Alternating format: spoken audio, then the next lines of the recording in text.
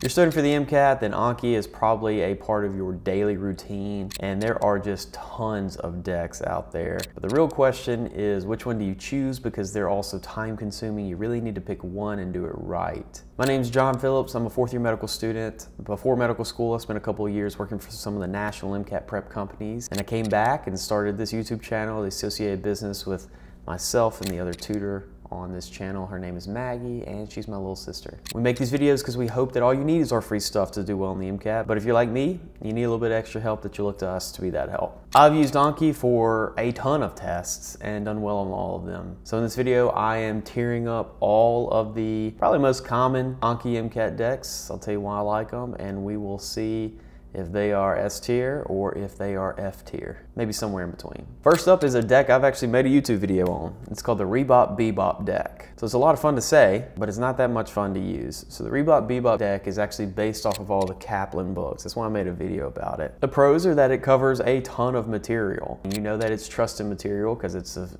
essentially copy and pasted from the Kaplan books, and those are really good books. The cons are that it covers a lot of material, and it's gonna lean you towards this trap that a lot of people fall into with Anki of using it just to feel accomplished and check something off the list, juxtaposed to actually using it with a purpose, which should be memorizing details, right? That's all you need it for. You got to understand concepts, but then you got to memorize details. So for that reason, I would say the Rebop Bebop deck is in the B tier. It's useful for the right student. It's not bad, but there are better options. Next up is a more popular one. It's called the Jack Sparrow deck. So this got a lot of its content from the Kaplan books as well, except for the Psych-Soc. It pulled from Cubene's Anki deck, which essentially took like the 300 page Khan Academy Psych-Soc document and made it into an Anki deck. Jack Sparrow deck, that is, adds in a couple of things from like full-length exams, double AMCs, and stuff like that. So the pros is that I, I like the structure of it a little bit better than the uh, Rebop Bebop for how they approach the Kaplan books. It's, it's a bit more user friendly, which is kind of tough to do on Anki. If you've used it, you know what I'm talking about. It also is incredibly thorough, like much more so thorough than many of the others that I'm going to discuss. Some people have complaints that they feel like it's a bit raw because it's like a ton of copy and paste from the books and things like that, but I'm not the biggest hater of that. I kind of like it. Now, the biggest drawback to this is that it is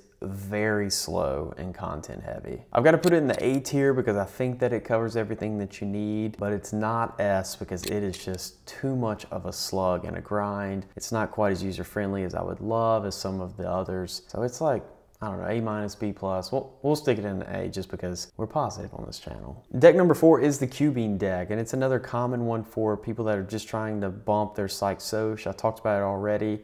It's a 300 page Khan Academy document put into Anki cards. It's really good for that. If it were that streamlined and good for all the sections, it might be an S tier, but it's pretty much just for Psych-Soc. So that belongs in the B tier because it doesn't cover enough, right? You have to use other Anki decks. And I think that if you're using Anki, then you should just get everything from one source. The next one is the Anking MCAT deck, and this was probably the newest out of all of them. If you don't know who Anking is, it's like a, it started off as a YouTuber. He's a dermatology resident now, I believe, and he made a lot of decks for medical school, decks that I used actually in medical school and then he branched out to the MCAT once he started, you know, making a lot of money off of this and was able to hire some help and stuff. So this deck includes the MileDown deck, which we'll talk about. It includes something called prosencephalon, I think. Um, what I really like about this deck is that it is tagged up, meaning you can really, really get into the nitty gritty of what you want to actually test yourself on. And I think that's super important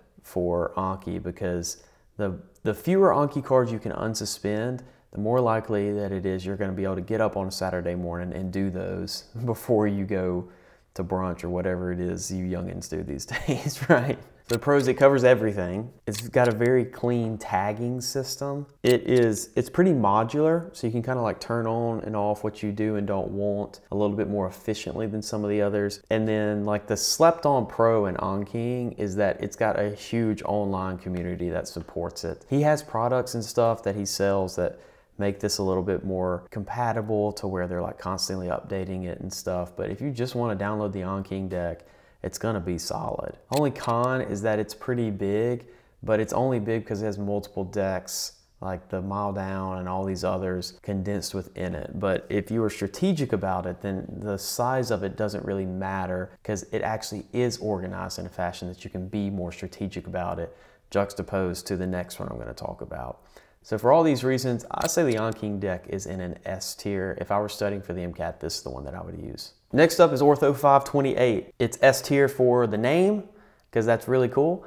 But as far as the deck itself, I'd say we're gonna put it in the B tier. I'll tell you why. It was really curated for you to hit a 528, meaning it's got everything, but it has the fundamental flaw in its logic that knowing all the content means you're going to make a 528. If you've studied for the MCAT, you know that's just not true. So essentially, if you want to spend all of your time on Anki, the Ortho 528 is the deck for you.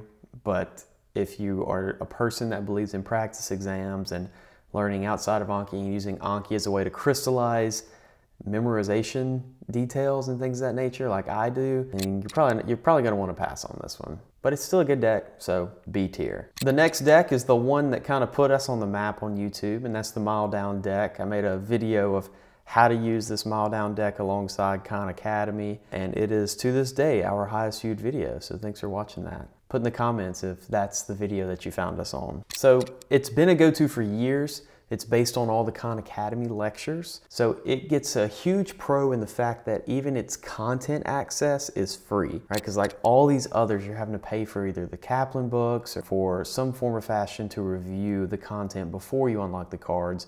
With the MileDown deck, it's all free, right? So it gets a huge bump for that. Now its con is that it's a little bit older it doesn't have a community like the Anking, and I just am not as in love with the Khan Academy videos as I once was because you can tell that those videos were taught with undergraduate sciences in mind juxtaposed to the MCAT, which it may be the same sciences or similar sciences, but the way they're tested is distinctly different. And if you've been studying for a little bit, you're already aware of that. But I still, I still do love this deck, and I think you can do great with it. It's a solid choice. I would put it in the A tier. Our last Anki deck is going to be making your own Anki deck. So the first company that I got hired for was really big on this, and this was actually the way that I studied the first couple times around, is making your own Anki deck. I freaking hate it. it's so time consuming, number one.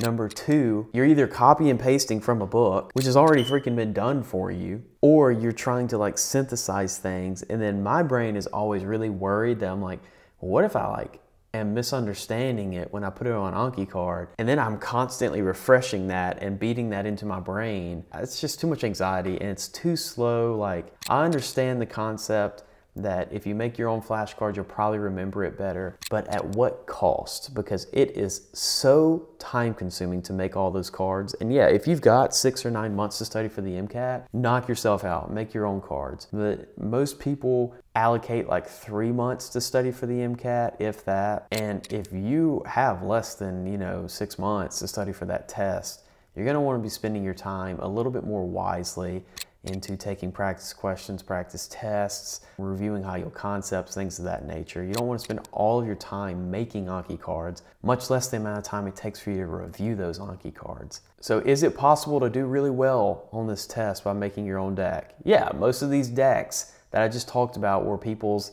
like personal decks that they then just posted online because they did well on the MCAT and people on Reddit were like thinking that that's the key to their success and it's not. So for all these reasons, I think making your deck is in the C tier. So here's the final rankings. S tier, Anking. Love it. A tier, we've got the Jack Sparrow deck and the MileDown deck. B tier, we've got the Cubene deck, just the Psych one. We got Ortho 528, just a little bit too much. We got Rebop, Bebop, fun to say, not my favorite deck. And then C tier, the only one in the C tier is making your own deck. Now it's important to say that like all these might have worked for you and many different approaches work for many different people, but this is just my opinion on the best Anki decks. So if you are primarily using Anki as your study resource and you feel like it's falling a little bit too short, I'm gonna tell you that's probably true. Anki is one tool in the toolkit that you need to study well for the MCAT. It's really good to help you memorize facts, but then you're gonna kind of struggle applying it and then you're just gonna get really frustrated. So that's exactly why we made the UWorld XIFD High Yield course. We teach you the high yield content fast, give you the Anki index so that you kind of know what's up, and then immediately test your understanding with practice questions and strategies of the nature. Links in the description if you're interested, but thanks for watching. I'll see you in the next one.